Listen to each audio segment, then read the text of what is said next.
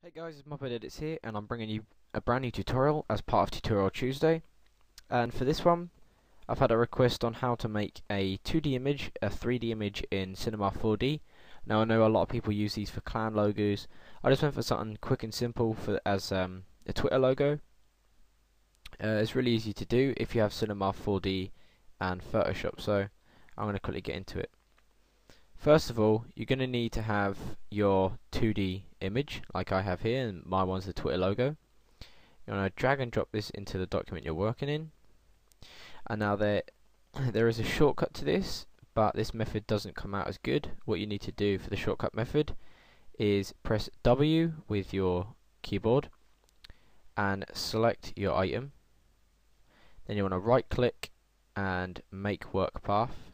Select your tolerance and as you can see the work path's a lot jittery. It's not really that smooth. So what I'm going to do is I'm going to delete that work path.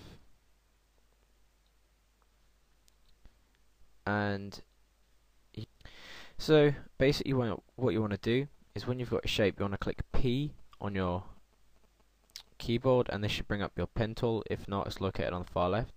You just want to click and click to the other location and then drag and you just shape it around the image or get as close to as possible. Then when you've done that you'll notice you've got this long stem.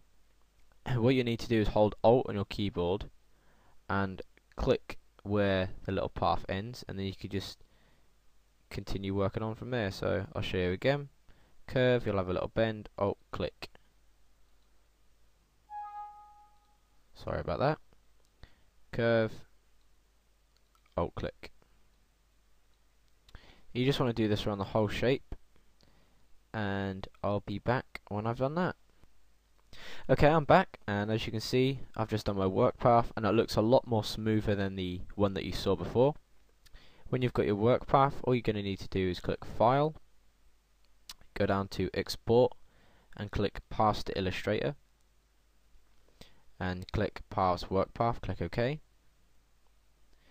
Choose a place to save it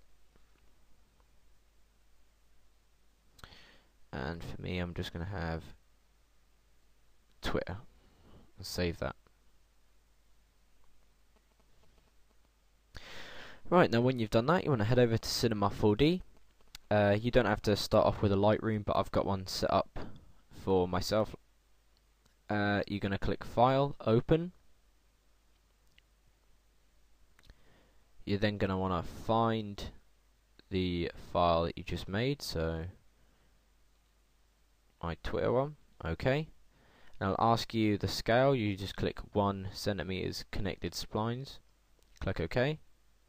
And you won't be able to see it all the time. So what you need to do is just drag it into where you're working. Like that. Scale it to whatever size you want. And then from here, you want to go over to this tool here, which looks like a, a green square in um, in a frame, you want to click and hold, and you move your mouse over to extrude NURBS. You then need to drag the Twitter spline and drop it into extrude NURBS. And when you've done that, you should see it turns 3D. And the settings I'm going to use for extrude NURBS are: you click Object. I'm just going to drag the movement up a bit, and this uh, this changes how far it goes back. And then caps, you're going to need to add a fillet cap like this. And as you can see what it does is it sort of embosses it like it does in Photoshop. Now you're just going to decrease that a lot but if you increase the steps it makes it more round like that. It's more curve Duh. and that's basically it. Now I'm just going to quickly rotate mine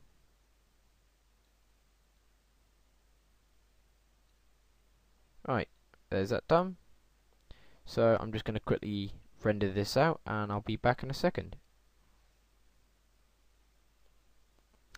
Okay, so my file has rendered. I've saved it on my desktop as a PNG. And then all I'm going to do is I'm going to delete this layer that I originally started working on. Click delete. And then I'm just going to open the 3D image. Uh, there it is. Click open. And then press V. And you want to click and you just want to drag and drop it into your workspace like this. I'm just going to quickly center mine up. And then what you can do from here is you can add color corrections, overlays, loads of different uh, layer styles like you normally would for things, drop shadows, etc. I'm just going to quickly add a simple one. And then if you want to change your color, press Control U. This is if you don't use a color correction, you can use this. You want to click Colorize, and you just change the hue to a color you want. I'm going to go for a, a nice Twitter blue, so about there. And then you boost up the saturation to increase the color, so like that. And then that is it and from here you can you can make this image your clan logo. You can make it anything you want. Uh, you can import it into intros and things like that. So if you enjoyed this tutorial please leave a like a comment explaining what you would want for another tutorial. Uh, a favorite so this can get out to more people. And yeah thank you for watching this video. And this is Mophead Edits signing out. Peace